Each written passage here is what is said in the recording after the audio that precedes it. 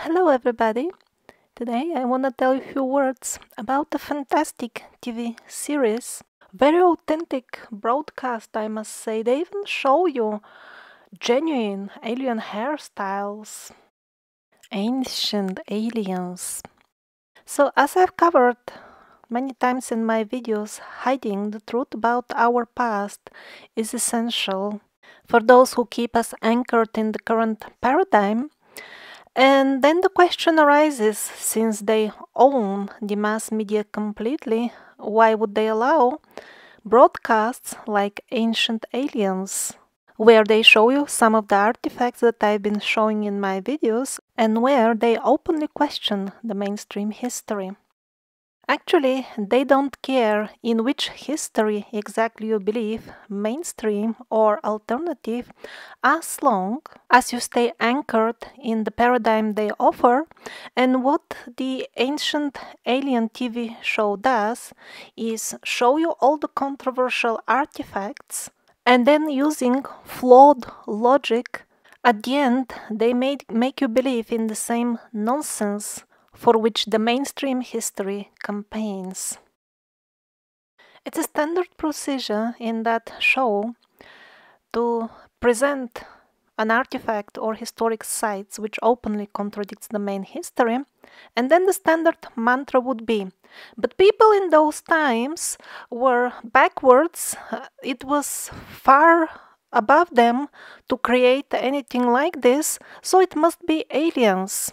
Come on, this is childish. How would we know for sure that indeed people were surely backwards in those times? And how do we know that it was exactly those times? Both these assumptions were simply taken from the mainstream history. That's what Ancient Aliens is teaching us, even though we see controversial artifacts and sites which clearly expose the mainstream lies of the historians, to still remain gullible and believe in only 90% of what they are telling us. Okay, 10% is lie, but the rest must be true because you see, everybody believes in it. Just there is no other way. So, the real purpose of the Ancient Aliens show is this they know that there always will be some group of people who will doubt the mainstream lies. So, the Ancient Aliens is just a trap that, okay, you don't believe the mainstream lies, but you just believe 90% of them. And mainly, you have to believe that you are a monkey, your essence is a monkey, you are dumb. The human race has always been dumb, except now when we have high tech gadgets. Just look at their, their snouts. They look as if they have crawled from hell just yesterday. They pollute the environment they enslave humanity, but you have to think that there are only two choices to either be a dumb Stone Age monkey, or the only other alternative is to be advanced, and that can be only by accepting this hellish technology. And as long as you are anchored in this deceptive paradigm that these are the only two choices on the table, you can believe in any history you want. They are okay with that. You are deceived and you're not inquiring into the clean, non devilish technologies. Actually, most people nowadays are so deep in the swamp of deception that they don't understand what is even clean technology. This is not an eco-friendly car because it feeds off electricity, which most likely originates from a pollution-spitting power plant. We don't need these poison-spitting monsters. We have technologies like for example the star batteries technology which can produce free electricity in any circumstances without the need of being wired to any power plant or to use any fuel. But people will never even hear about the star batteries until they don't stop voluntarily feeding with their tax money agencies like BBC and Fox News.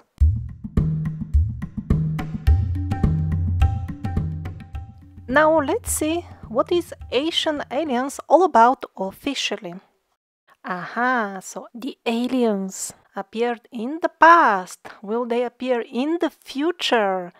And prepare ourselves for future encounters.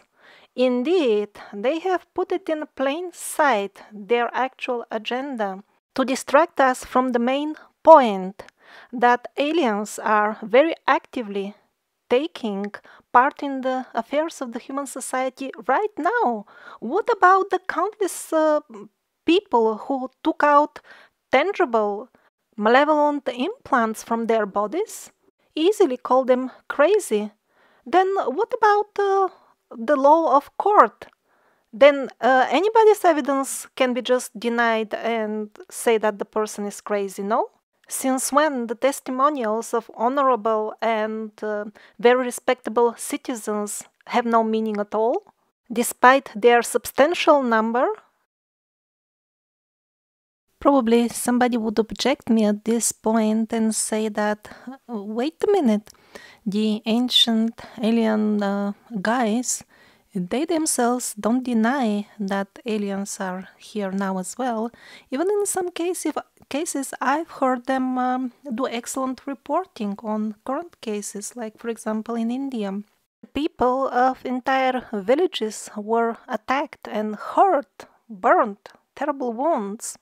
But even after making this type of reports, the ancient alien guys will continue with their old song, same flawed logic. Yes, and so the conclusion of everything is that the ancient the aliens are ancient. And because most people have lost the ability of critical and logical thinking, they just hear something and don't they don't understand very well they hear only the conclusion and they accept it because they see some contradictory artifacts and assume that the rest must be truth. And while it is actually true that in the ancient times aliens interacted with humans very actively, when this is used to distract us from the more important point about how the aliens interact now with the human society, which is much more important, when it is used in such a way, well, I don't know, truth or uh, it borders kind of deception for me.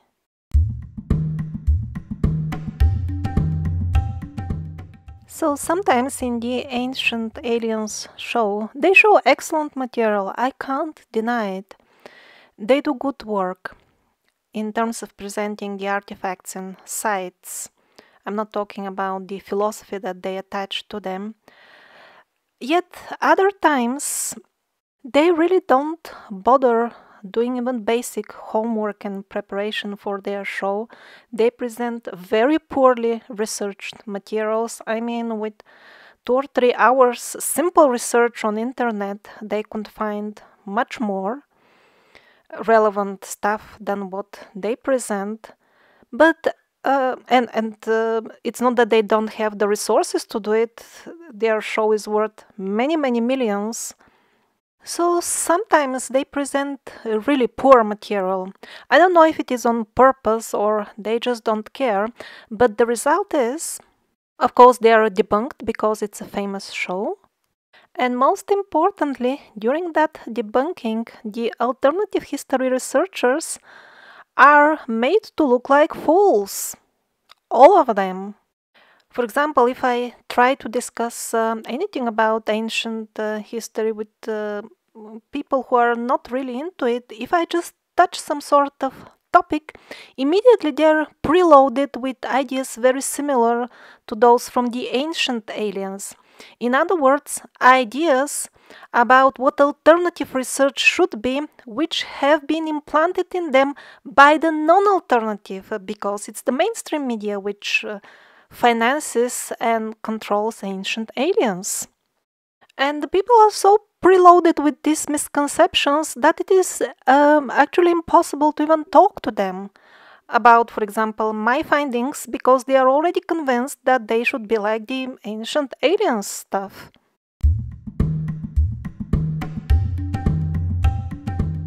On the Ancient Aliens show, there is a clear tendency to desperately try to prove that any masterpiece or any wonderful creation is older than mainstream history, or at least that much old. I've never heard them try to prove that something is actually more recent than we are told.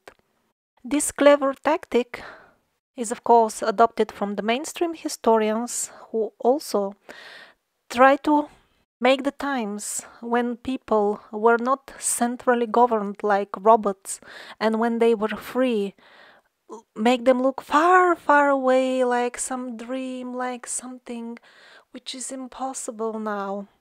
In many previous videos I have proven and I have given references for those who wish to read books with written references that a lot of what is considered as ancient history actually happened within centuries from now. It is relatively very recent and it is artificially sent to the far, far away distant past only to endorse the paradigm of these ugly machines, which will eventually culminate in an implant in your brain, which will make you a robot.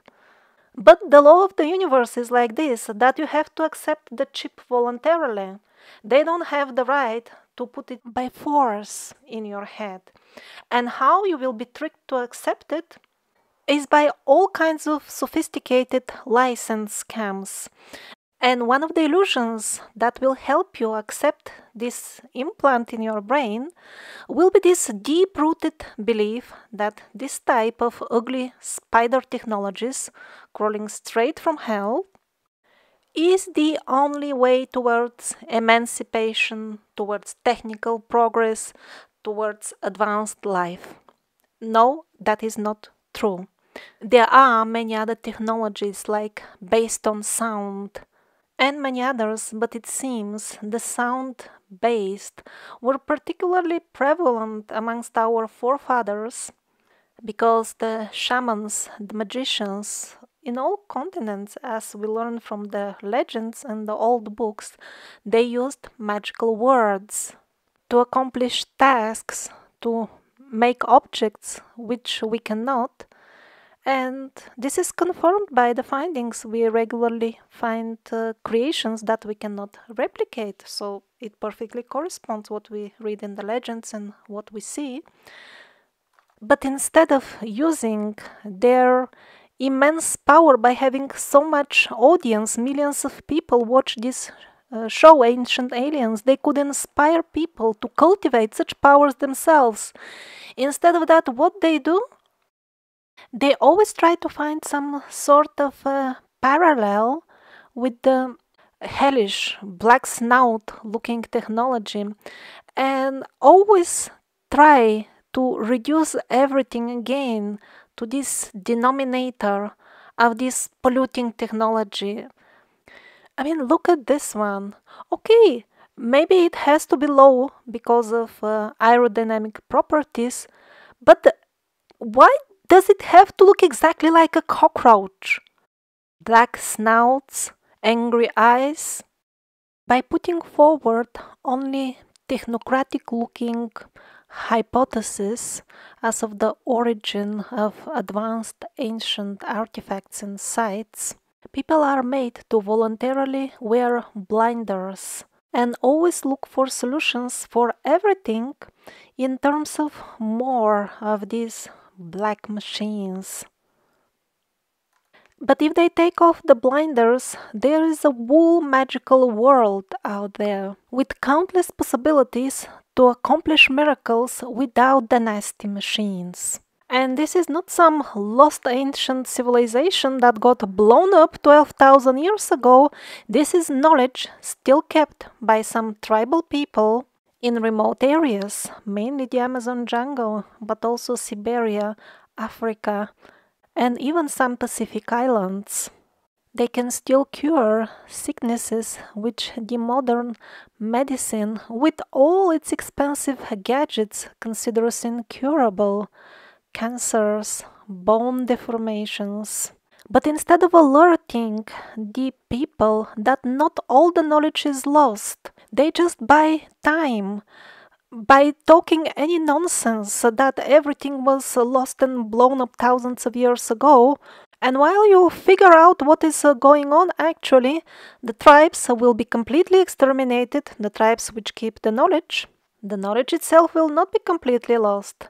It will be lost for you only. It will be used by the black magicians who have created this dark paradigm for you to live in and keep you anchored over there. They will use it while at the same time they print textbooks for the children in school and tell them there is nothing like this, magic is nonsense, it doesn't even exist.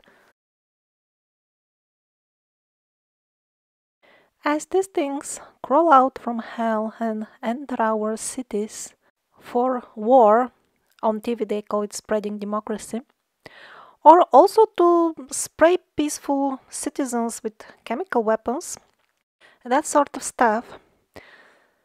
Some people finally may get determined enough to wake up from all this nightmare. And that is actually very, very easy. All we need to do is just abandon the paradigm.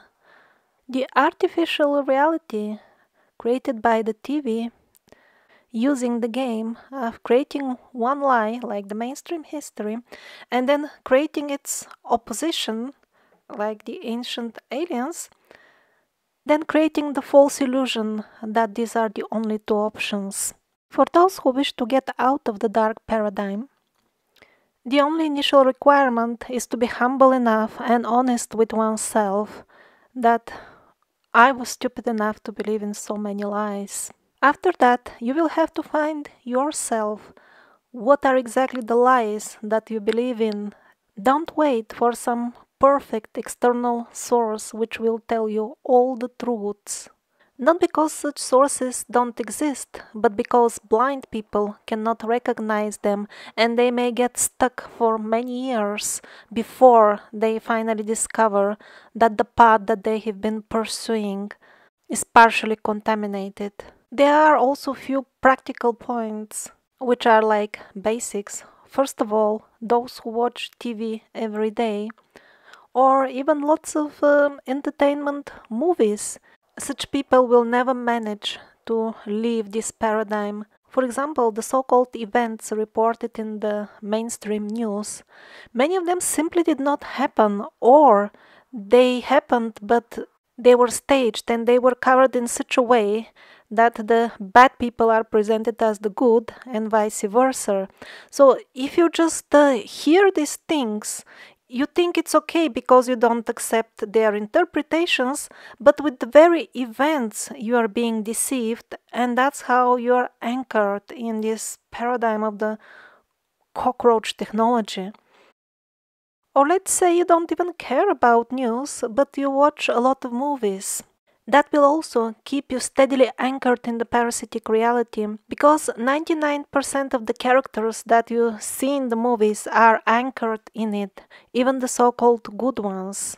Their behavior patterns get imprinted in your consciousness, and when real situations arise, you will apply those patterns. For example, many of the so called good heroes in the modern movies are often depicted fighting even the good guys are often depicted with many scenes of ghastly violence.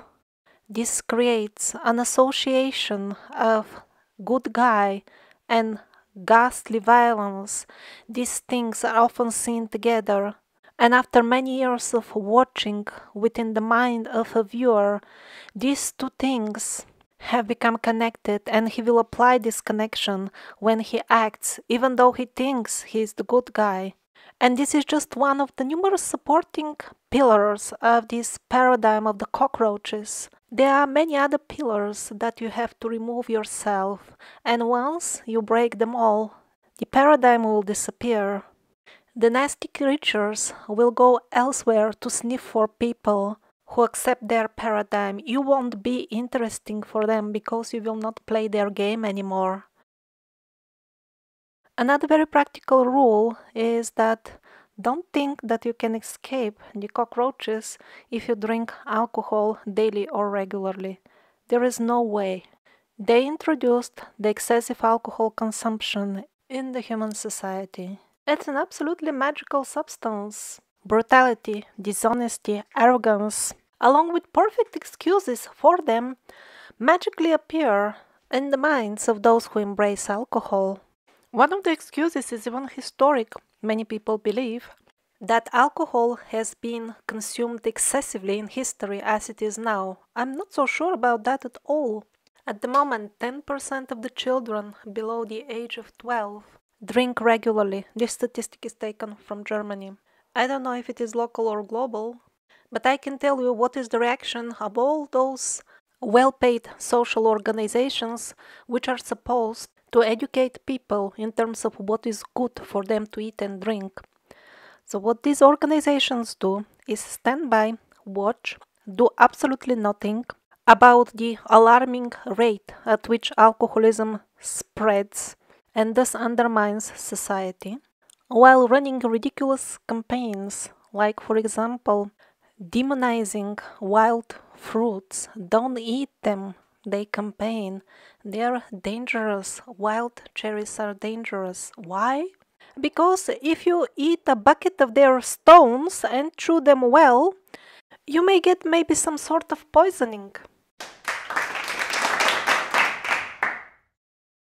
And what is more funny is that even people fall for it. Because wild cherries are poisonous, that's with big letter the title. Then there is a long scientifically looking article explaining how horrible is to get poisoned with that particular substance and only towards the end is a slight mention that you have to eat a bucket of stones to actually ingest enough of, of the substance and who who reads towards the end of these articles people just uh, get the wrong impression wild fruits are poisonous and if we feel trapped in all this against our will, this is again a pillar of the paradigm of lies. Because only if we wish, we can get very easily rid of this paradigm simply exercising our right to vote. Don't fall for their lies again. They will give you an illusory choice of a couple of corrupt politicians and then create the impression that, well, they're all like this. No, that is the biggest lie. They're not all like this. Here in this video, I discuss uh, the practical side of voting and I open the thread about this topic on the New Earth Forum where hopefully we can gather specific country level information which could be hopefully useful, especially for people who are not much into politics like me. Elections do come up regularly, and maybe we can manage together to compile a resource which lists the parties and candidates which offer practical remedies for removing the parasitic rule instead of empty promises like let's make our country great again. Great, but great for whom? apparently not for the regular citizens.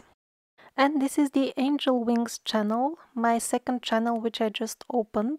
Why did I do so? Because uh, some people ask me to make more videos, others ask me to improve the quality of the videos and um, it's impossible to do both of them together at least with only one channel.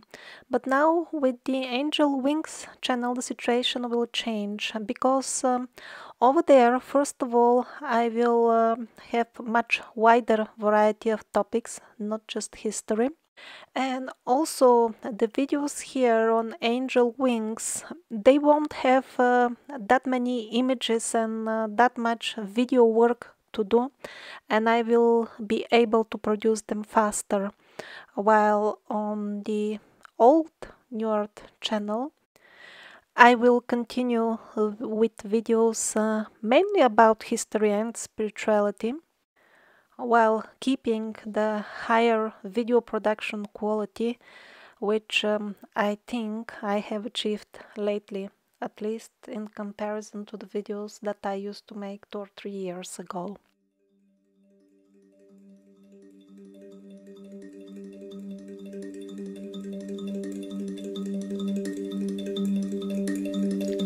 descendo lá.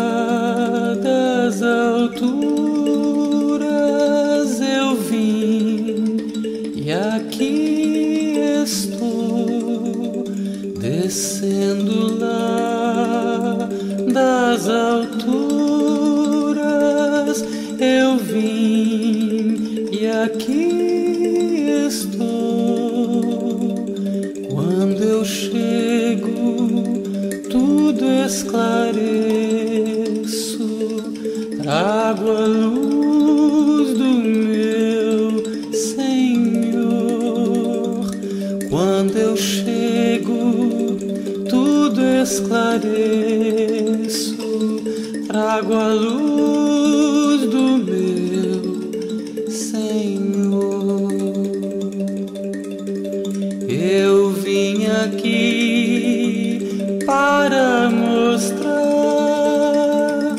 que a verdade dissipa a dor. Eu vim aqui para mostrar que a verdade dissipa a dor. Estou mostrando, preste atenção.